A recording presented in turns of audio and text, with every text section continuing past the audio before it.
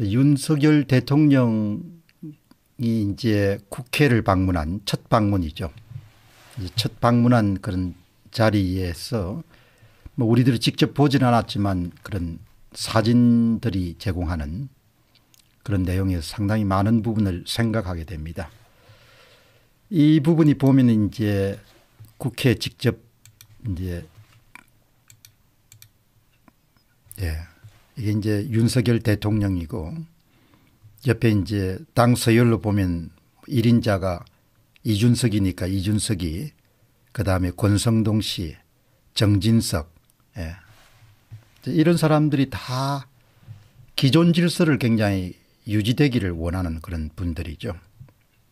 뭐 여러분도 잘 아시다시피 정진석 의원은 그 충남 부여에 출마해서 현장에서 투표 참관인이 발견한 투표지 분류기 오작동. 오작동이 아니죠. 투표지 분류기가 뭔가 이렇게 명령을 받고 있는 그런 상황에서 이제 그것을 발견해 가지고 결국은 아주 그 기사회생했죠. 청와대 소통수석을 지냈던 박수현 씨를 물리치고 오선 의원이 돼서 지금은 국회 부의장을 하고 있습니다. 권성동 씨도 강릉시에서 자료를 조사해 보게 되면 상당한 정도의 사전투표 조작이 있었죠. 2020년도 4.15 총선이 끝난 직후에 국민의힘 내부에서도 이 부정선거 문제를 가지고 이런저런 이야기가 있었습니다. 그런데 정말 그 당시에 그런 뭐 어느 조직이든 간에 대부분 사람들은 그냥 조심을 한 그런 상황이고 그 당시에 그런 국민의힘의 내부에서 제기되는 그 부정선거 의혹을 강하게 진압하는데 선봉장 역할을 한 인물이 이준석과 하태경이죠. 예, 이준석과 하태경입니다. 그러니까 이 윤석열 대통령이 주변에 이 둘러싸이고 있는 이 인물들이 대부분 선거 정의를 구현하려고 하는 그런 의도가 거의 없는 인물들이 포진을 하고 있습니다. 그리고 이제 또 하나 아주 제가 눈여겨본 부분은 아마 이게 대통령이 국회 방문을 마치고 나오는 사진으로 보이는데 여기 이제 안철수 씨가 있고 그 옆에 이제 하태경이가 있습니다. 그러니까 이 하태경의 정치적 촉이 좀 뛰어난 것 같아요. 그 많은 의원들 가운데서도 윤석열 대통령과 상당히 그런 밀접한 관계를 만들어 놓는 데 성공한 것 같습니다. 이것은 한참 이제 유세가 진행될 때 부산을 방문한 자리에서 찍은 사진입니다. 손을 잡은 상태거든요. 예. 이 부산역을 나오는 그런 광경입니다. 그러니까 윤석열의 머릿속에 하태경이라는 인물이 상당히 깊게 각인이 되어 있는 상태인 거죠. 이런 사진들을 보면서 오늘 여기에 이제 배상수 님이 부정선거 수사를 제대로 할지 의문입니다. 이렇게 말씀을 하시고 정괴재 님은 자주 좋은 의견을 남기시는데 윤석열 대통령이 정치권 전체와 싸워야 되는 엄청난 일인 것은 분명합니다. 이렇게 이야기를 하거든요. 유비님은 윤석열 이꼴은 하태경 이꼴은 권성동 이꼴은 안철수가 모두 다 부정선거의 침묵자들입니다. JPD님은 윤석열을 도대체 왜 이러는지 모르겠습니다. 예. 이러라고 뽑아준 것은 아닌데 말입니다. SC배님은 다음 주 재판이 분수령이 될 듯합니다. 절대 그냥 넘어가서는 안 되는데 재판하는 대법관들도 눈치를 보지 않겠습니까? 대통령의 의정이라는 것은. 예. 그러니까 뭐 이런 상황에서 보면은 어, 여전히 대한민국은 대통령 중심제 나라고 또 대통령 중심제 나라 가운데서도 대단히 대통령의 힘이 유무형의 힘이 센 나라입니다. 그래서 일각에서는 제왕적 대통령제를 불식해야 된다. 뭐 이런 이야기가 나올 정도로 대통령 의중이 대단히 중요한데 대통령 의중이 어떠냐 이야기입니다. 물론 일각에서는 이런 이야기를 하죠. 한동훈 씨가 소신이 있으니까 그러니까 뭐 대통령이 원하지 않더라도 자기 소신껏 할 거다 이런 기대감을 갖고 있습니다. 조금 전에 뉴스를 보니까 한동훈이 법무부 장관이 임명되고 항한 1호 지시가 추미애가 없앴던 정권 범죄 합수단을 부활시키는 거였다. 이거는 뭐 누구에게도 이익이 침해가 되지 않는 것이죠. 부정선거 문제는 정치권에서는 자유로운 사람이 드물 정도로 그렇게 큰 세력들이 형성되어 있습니다.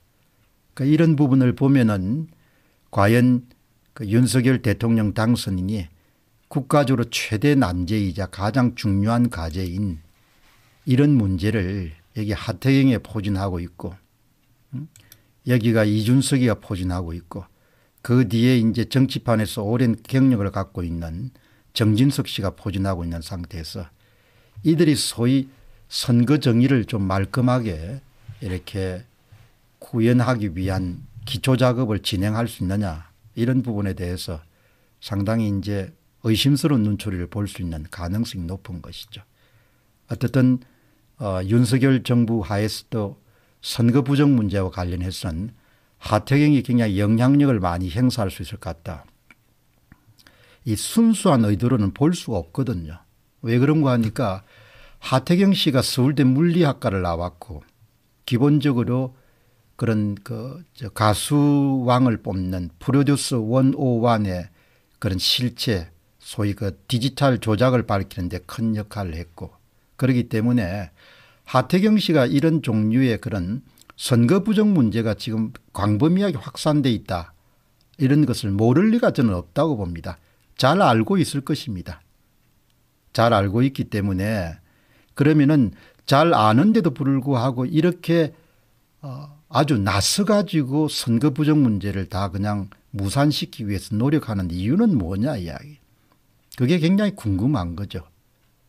본인한테 직접 답을 듣지 않았기 때문에 누구도 예단하기가 힘들지만 뭐 예를 들면은 경희대학교의 김민전 교수가 총괄 공동 선대위원장으로 영입이 됐지 않습니까? 윤석열 캠프 측에 중간에 이제 캠프가 바뀌면서 이제 그만두게 됐지만 그때 김민전 씨의 부정선거 발언에 대해서 김민전 교수에게 직접 전화를 걸어가지고 그런 말을 하지 않는 게 좋겠다.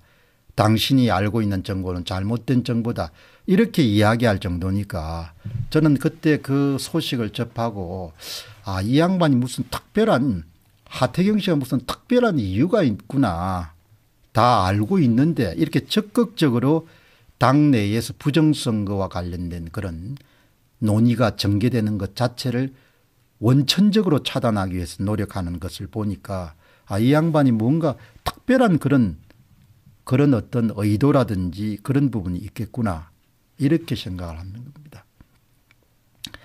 사실 여러분들 지금 뭐 보셨다시피 지금 우리나라에서 제가 이제 쭉 그동안 다 밝혔지 않습니까? 서울구청장 선거 부정 문제 그리고 전국의 지방자치단체 부정 문제 2018년도에 지방선거의 전체적인 광역도 그리고 광역지방자치단체장 시군 레벨 지방자치단체장 대선에서의 사전투표 조작권 그 이제 모든 것들이 같은 유전자 같은 부모 밑에서 이루어진 그런 부정선거였지 않습니까 이제 그런 모든 문제들이 공통점이 다 연결되어 있기 때문에 이 문제가 해결이 되지 않으면 대한민국은 영속적으로 부정선거가 반복될 수밖에 없는 나라라는 것이죠. 이제 그런 문제에 대해서 우리가 기대한 것은 윤석열 씨가 검찰총장으로 재직했기 때문에 잘 할 것이다 이렇게 예상을 한 거죠. 이제 저는 이 문제를 2년 넘게 계속해서 추적해 왔기 때문에 뭐 이 과학적 증거를 이렇게 들이밀 수는 없겠지만 이 사람의 은행 같은 것을 보게 되면은 대략적으로 그런 감이라는 게 있지 않습니까? 촉이라는 것이 감각이 있는 것이죠. 특정 이슈를 계속해서 이렇게 따라가다 보면은 그런 감이라는 것이 있는데 꼭 지금이 어떤 것이 반복되고 있는 기분인가 하니까 우리가 흔히 그런 것을 두고 데자뷰 혹은 기시감이라는 용어를 쓰지 않습니까? 언젠가 그런 것을 한번 본 듯한 명확하진 않지만 그런 느낌을 갖게 되는 것을 우리가 흔히 기시감이라고 그렇게 부르고 데자뷰라고 그렇게 부르죠. 꼭 지금 상황이 사이로 부정선거가 끝나고 난 다음에 상당한 그런 증거물들이 곳곳에서 터져 나왔을 때 한 100여 건 정도의 사이로 총선과 관련된 고소고발 사건이 있었습니다. 당시에 검찰총장이 윤석열 씨였습니다. 윤석열 검찰총장이 사이로 총선 이후에 100여 건 정도의 소위 수사나 고소고발건을 어떻게 처리했느냐. 그때 부정선거를 이 아주 이 열심히 추구하던 사람들은 윤석열 검찰총장에 대한 기대감이 있었기 때문에 다음 주는 조치가 있을 것이다. 다음 주는 조치가 있을 것이다. 다음 주는 조치가 있을 것이다. 이렇게 생각했지만 결국 모두가 무산되고 말았거든요.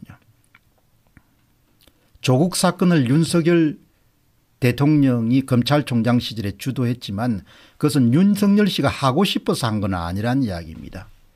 그것은 국민들이 광화문으로 쏟아져 나왔기 때문에 어찌할 수 없이 검찰의 존립을 위해서라도 본인이 자리를 위해서라도 움직이지 않을 수 없는 그런 상황이 됐기 때문에 그때 수사가 이루어진 것이죠. 이런 모든 정황을 미뤄보게 되면 윤석열 대통령 자신이 평생 동안 살아온 것이 상당히 정치적 촉에 민감한 사람이라는 생각하는 것이죠. 정치권 전체가 관련돼 있고 국민들의 이해관계가 깊숙이 관련돼 있는 이 선거 부정 문제를 본인이 스스로 나서 가지고 해결할 가능성은 현재 제가 갖고 있는 감각은 2020년도 4.15 부정선거 이후에 벌어졌던 검찰총장 시절의 그런 상황과 대단히 유사한 상황이 지금 일어나고 있다. 이런 것을 보는 것이죠.